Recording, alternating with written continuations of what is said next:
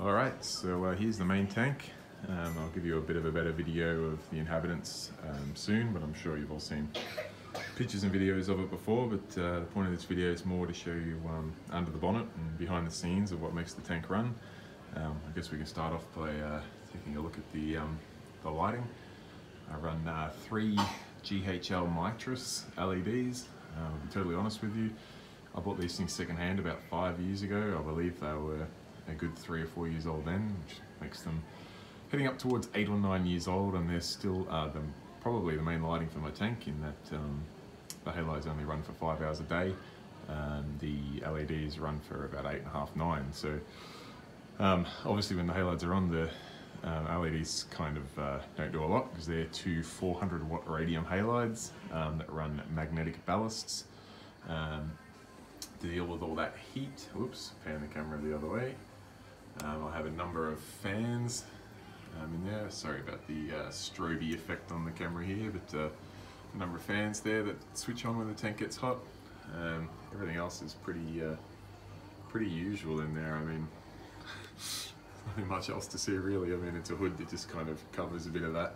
The lighting used to be down in the hood, but um, I found it was a little bit uh, spotlighty, so um, I raised it up. I used this um, uh, this aluminium uh, channel, um, extrusion's the word actually, uh, which makes it easy to um, bolt together and make the sort of lighting go wherever you want. Um, I've got some different length struts that I use to, um, if I decide I want to raise the lighting or lower the lighting, I just take out um, these bits here and I've got some that are a bit shorter and some are a bit higher, but um, I find this height seems to work the best. Alright, so uh, here's the magic uh, room of what makes this uh, reef tank here tick and um, pretty well effectively the rest of my tanks because this is one of the few that actually has a sump. In fact, technically it's the only one that has a sump. The rest are, uh, one's only got a uh, back section and the others don't have sumps at all. So um, it's pretty crowded. And it's got a lot of gear in here, um, more than this tank needs, but uh, that's because it's running all of my tanks. Anyway, enough rambling. Um, if you don't like messy wiring or messy things at all, look away. Start off on the left side, I got my uh, power controller there. It's just uh, a PDUs into a um, server cabinet. Just keeps all, well, it's meant to keep all my wiring tidy. It doesn't really, but um, makes it easy for me to switch things on and off. Um, gets rid of as many power boards as I can because they're a bit of a trap. Um, on the back wall there, I've got uh, my taps for return pump, full siphon and half siphon. Uh, you can kind of see me on there, I've got a couple of uh, MP40 controllers, my pH controller for calcium reactor, um, and hiding over the back there is also a Tunze multi-controller. Uh, I've got a temperature controller on there, I've got a mobile phone which is for power outage alarms, I've got a uh, remote control there which is, allows me to switch the pump on at the IBC if I need to do a large water change in conjunction with these taps over here that are set to uh, drain this tank if I need to and the one down there which um, opens up the line from the IBC when I switch on that remote control. Alright, um, yeah, a heap of messy wiring, we won't talk about that. Got a um, KH Guardian down here, which is just temporarily sitting there for the moment. I've got uh, Thomas Cheer from Anything Acrylic making me up a wicked mount for it. And I'll be able to tidy up some of that there. Alright, the sump itself. Okay, so coming through our overflows, we go through filter socks. We come into the skimmer section, which is where I have my RLSS. Uh, I believe it's an R10 from memory. Um, it's got a, um, Avast head cleaner on it. Um, it has this, which is just a uh, CO2 scrubber, um, just two little fishies, um, carbon dioxide remover. Um, I tried their CDX uh, media, but uh, it worked fine. I just found a larger um, scuba diver place, which sells it, sells it by uh, nine kilos at a time rather than 500 grams. So I just topped that off. Basically, all it is is the skimmer intake, air intake here. I have a T here because it, um, one side goes off to my ozone and this side uh, pulls through this basically almost a muffler um, which is just full of uh, the carbon dioxide removal media. And uh, the other thing you probably can't see there, I threw the garden hose there, my skimmer is hard plumbed to the drain. So um, that's got its pros and cons, it means the skimmer neck's always clean with the neck cleaner. And it means it's always drained because it's always going off um, to the drain. Also means I don't know how much skim out I'm pulling out, and if the skimmer goes Burko, um, which is acting a bit funny there because I just put in some um, trace elements and uh, amino acids before. Um, but yeah, if the skimmer goes crazy, I don't actually know how much um, I'm skimming and I've just got to be cautious of that. So I don't recommend that for everyone. Uh, next along in the sump is uh, my two uh, two little fishies, uh, 150 reactors here. I just run Aquaforest GFO in one and their carbon. Sorry, I use Ultimate Aquacare carbon in the uh, next. Scooting over to the next section, I've got a Geo calcium reactor that's not running as a calcium reactor. This one's set up as a sulfur reactor, um, which just means it's kind of hard to see in there, but it means it's full of uh, sulfur beads and a little bit of uh, coral bone or skeleton. Uh, this just helps my nitrates. Um, I run a pretty heavy fish load and uh, they put me on the sulfur reactors a while ago and to be honest I find them um, so set and forget. I pull that out maybe once a year, pull all the detritus out of the um, out of the media and uh, we're good to go. Uh, coming along through next, I got my, uh, just here's the top off for the um, uh, Spectra Pure um, auto top off.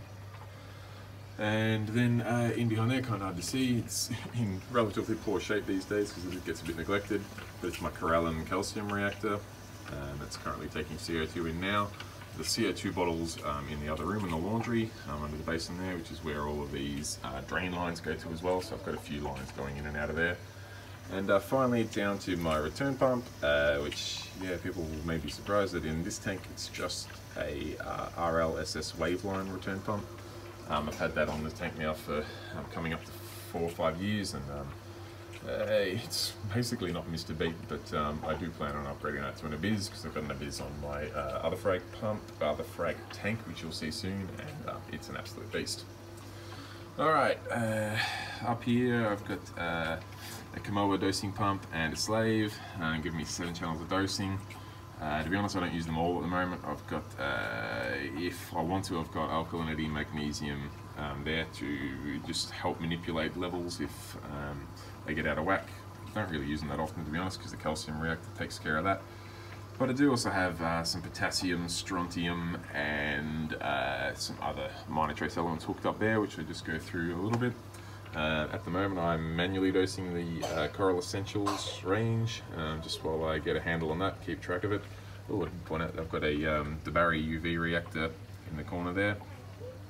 Um, and my Milwaukee digital refractometer, which I just check the salinity each day um, mainly because they run an auto water change system and also because the skim is hard plumbed. I um, just like to keep an eye on the salinity to make sure that um, it's not drifting away on me.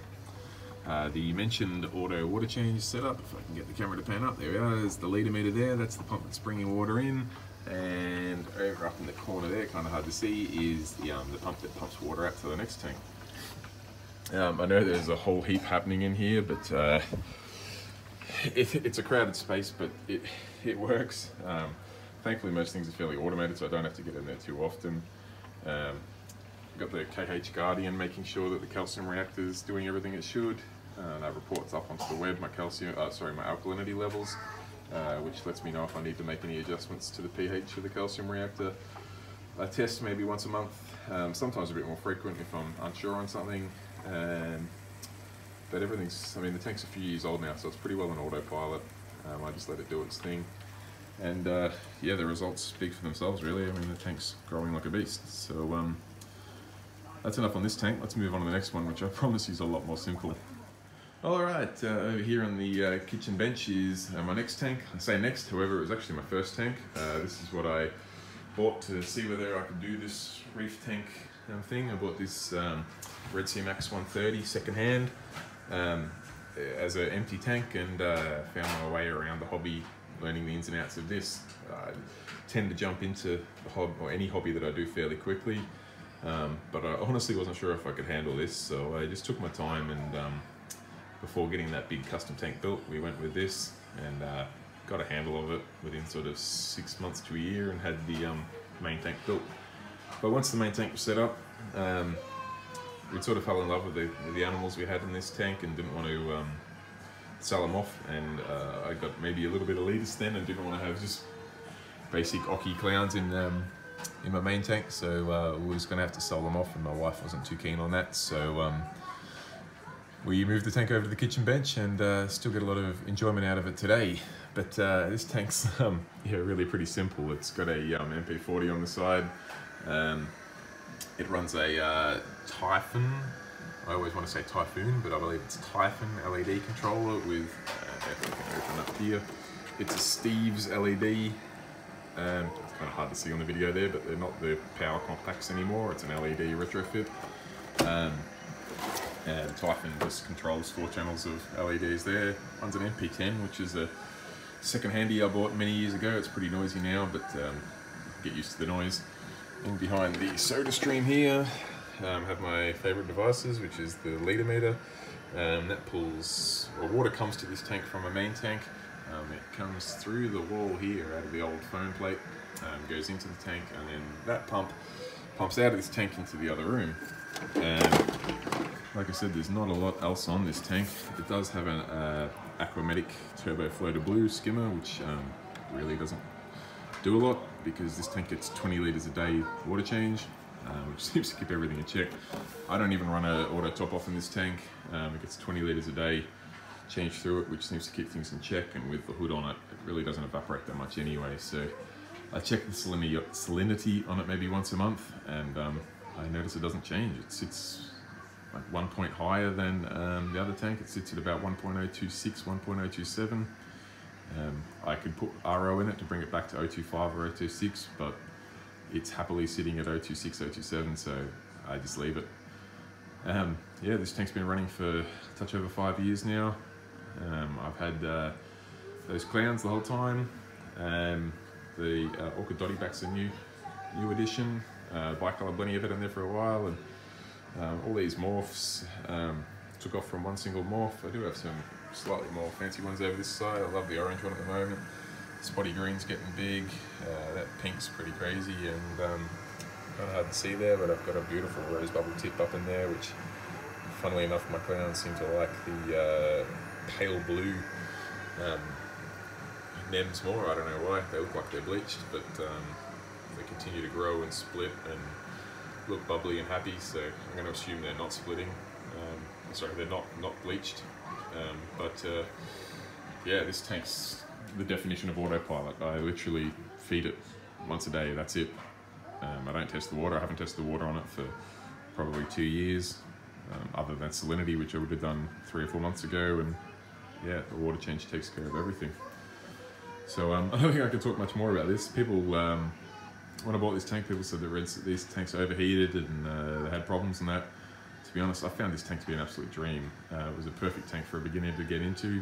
Uh, just, if I had a question, there was a lot of people online that were running the same tank to tell me what skimmer to replace with, uh, gave me advice on the LED retrofit, um, gave me advice on the placement of the MP10, um, even as far as the rock structure and how much sand to use. It just made getting into the hobby really easy. So if uh, you're looking at starting off, look into a Red Sea Max um, or even one of their Red Sea Reefers or another all-in-one tank. It takes a lot of those difficult decisions out of the fray for you and um, just allows you to enjoy the hobby. So anyway, that's enough of that tank. Let's move on to the uh, next room.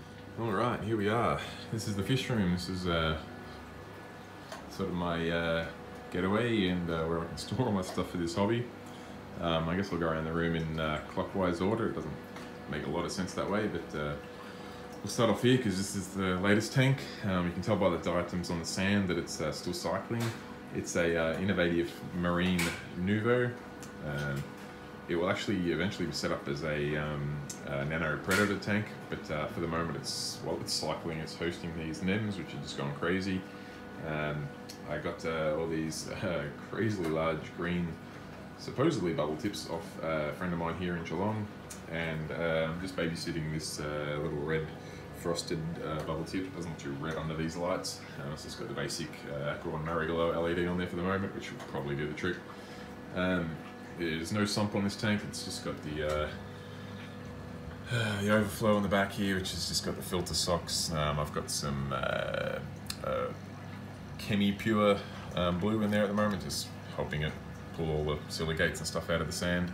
Um, this uh, here is because I'm yet to hook up my auto water change to the setup yet. This will just have the um, lines in and out. Um, and uh, there's the liter meter ready to go for it. just um, waiting on a bit more John Guest tubing to come in. And uh, yeah, the plan for this tank is basically um, a small puffer, a uh, Fu Manchu lionfish, and uh, maybe a leaf. Um, should be pretty cool. I've got a um, uh, top lids custom uh, lid coming for it. I don't know what that's floating in the water there. maybe a bit of plastic from the bag of the sand. Cool. Um, which will just keep uh, little fingers out of there because yeah, there will be some predators in there, and uh, yeah, I don't want anyone getting there, getting themselves hurt. Anyway, over to the next tank. Uh, this is uh, my first frag tank. Um, it's getting fairly well overtaken. I try to strip out the zoas and uh, things out of there as quick as I can, but um, it grows pretty hardcore. I run um, this pan up, another radium 250 watt halide on this tank. Um, it has a uh, MP40 on the side. It has, this is actually, I should show you this. It's only one of my tanks that has a chiller, um, yet ironically the chiller barely ever gets used. Um, the fans do the trick, even with the halide in this tank. I run a uh, Aquarium Industries calcium reactor. Um, I do have a bit of a closed loop setup going here with a, um, a Royal Exclusive uh, Red Level 3 pump. Uh, that's really about it. I do have a little uh, uh, water housing which just holds um, some some uh, aquaforest uh, biomedia and a little bit of GFO in the back one just to keep things clean and tidy. Um, this tank also has, once again, really messily for the moment. Um, hidden out the back, it's got a, uh, sorry, alka, I'll start again, a KH Guardian, which monitors your alkalinity. Um, and I've got a, uh, the gas bottle for the calcium reactor and things out the back there. Um, it's a pretty basic tank, but uh, I'll give you some footage of um, how the corals and stuff are doing in there. I just to say my word, it looks killer. Um, the corals are growing so well in there. You can see up in this corner here, I had a little cyano outbreak a little while ago. Well, no, I have a little cyano outbreak now. I had a major one before, which wiped out a bit of stuff and browned out a lot of other things, but um, it's bouncing back. Gave it a course of Dr. Tim's, um, uh, biotics and stuff there, and uh, probiotics, and um, yeah, it's looking really well. Alright, over to the next tank, which is my clown tank. Um, this is where eventually the uh, anemones from uh, that are currently in my predator tank over there will come.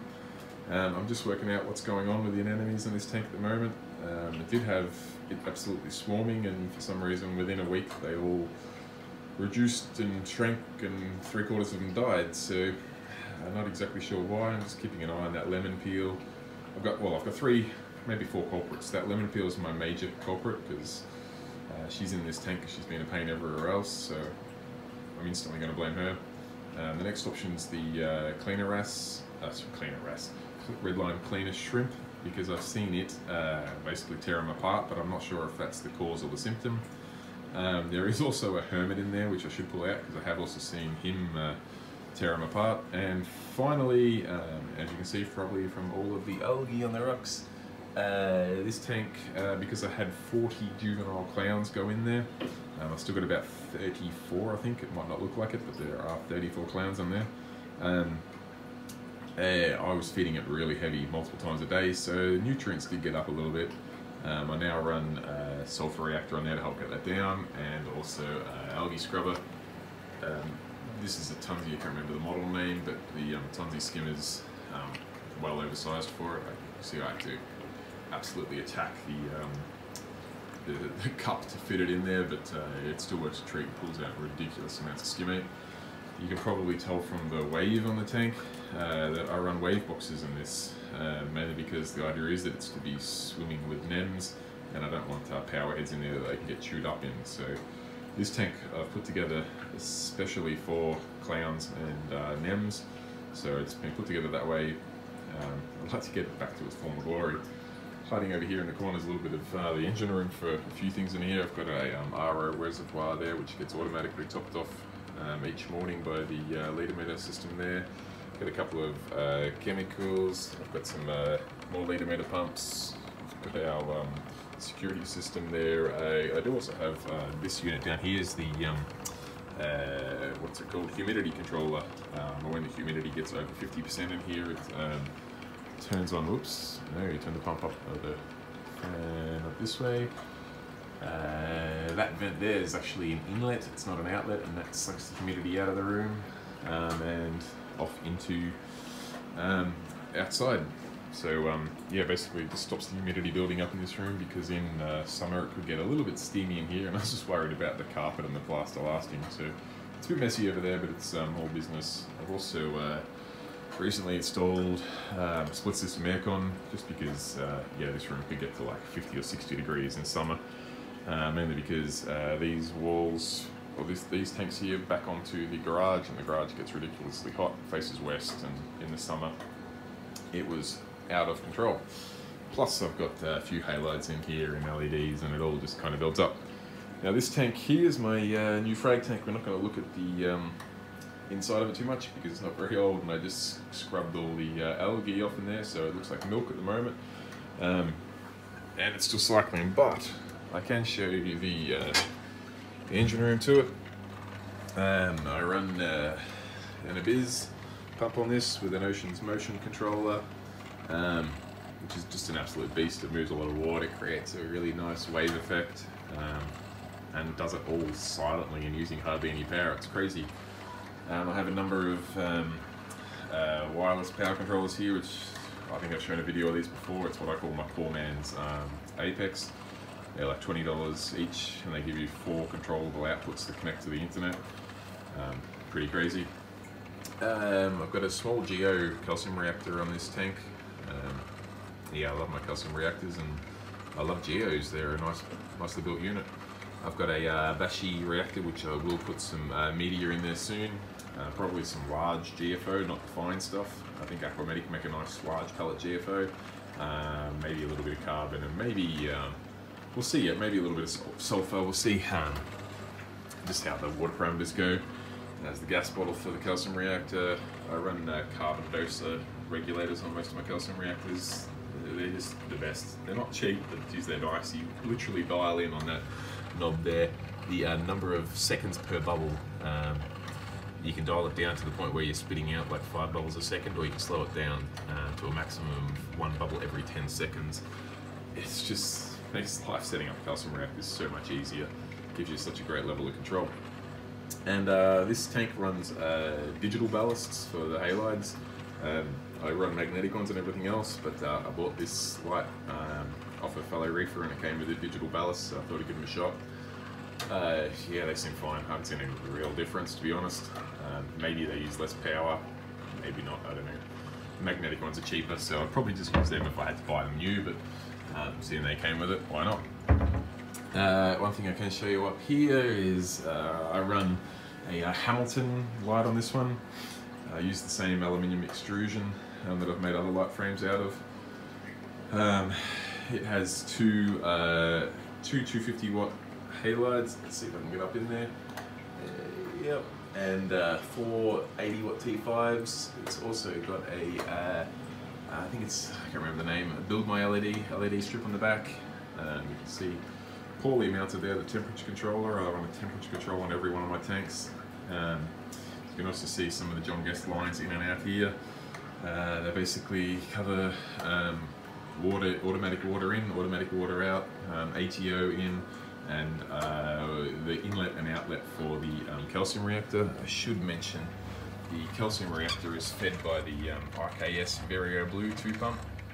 And I got a little step down converter there just because uh, the Ocean Motion I'm using this one is 110 volt um, and rather than changing it to a 240 volt motor, I had one of these step down converters, so I thought I'd use it. Um, I've got a nice little acrylic floor in there just in case there are any spills. I was a little bit nervous about the closed loop on this system because it's got a lot of holes in the base, but um, it's been faultless. Beautiful work by um, David Deer Park. Um, I did also forget to mention this tank uh, runs, this is my clown tank, has two AI primes on it. Seems to be more than enough light. Um, I'm not sure if I mentioned also that it runs a, a algae scrubber. Um, that thing just pumps out the um, algae. This is sort of what everyone had before um, those uh, algae reactors. Uh, it's a Santa Monica turf scrubber. Um, works a treat. This tank um, does not run a sump. Um, this is just messy storage. So it's, uh, yeah, it's, it's a lot happening in an all, well, I call it an all-in-one tank. It's not, it's just your basic fish tank. Just has uh, two wave boxes, a uh, skimmer, algae scrubber, and a uh, now sulfur reactor. You see I run a temperature controller over there like I do on every one of my tanks. This one's got a large fan on it because it can get hot. And uh, yeah, I think that's pretty much it. Sorry for talking too fast, but um, this video is already getting up around like the 15 20 minute mark and wanted to cover as much as we could. Oh yeah, I can show you this. I forgot that a lot of people have asked about this. This is a, um, step back a bit so you can see it. This is my uh, workbench in my fish room. It's um, uh, just a um, IKEA kitchen, uh, portable kitchen. They, um, yeah, I think they're about 150, 160 bucks. Stainless comes with a kitchen sink, which you can put these little uh, strainers in. Um, you can get these little storage tubs which just hook onto the back. It's awesome. gives me room to set up my um, fragging or um, yeah, just to prepare new corals or you know inspecting them or doing whatever I need to do before putting them in the tanks. I set myself up there. It also holds all my fish food and M pellets and things like that. If you've got room and you're looking for something like that, can't recommend them enough. All right. Uh, if you've got this far, that means you've obviously um, in, been enjoying the video so far, and um, probably by now know more about my uh, reef tanks than I do myself. So um, thanks for watching, and um, feel free to shoot me through any questions at all that you have. I'll do my best to answer them. Um, I would like to point out that I definitely don't profess to, to say that I have my tank set out in the most perfect way, um, textbook way, or the best way you should, or the best way your friends should, anything like that at all. I've set them out the way that works for me, um, and so far it's working pretty good. I've got um, six tanks now, and um, uh, on the whole, they're all running pretty well. So um, it's it's been successful. You're just watching a bit of footage now of um, uh, just some live video of, of um, my main tank and uh, the fish swimming around there. And I must admit, it looks pretty good. I wish I closed the curtains just to the left of the tank so you didn't get that glare. But hey, it just goes to show that uh, we all make mistakes, and um, even though I've taken that same video a few times, uh, I still obviously forgot to close the curtains. So sorry about that, but uh, hopefully you can still see um, all the corals there. And um, yeah, anyway, once again, enough rambling from me. Um, thanks for following along, and um, send me through any questions. Cheers.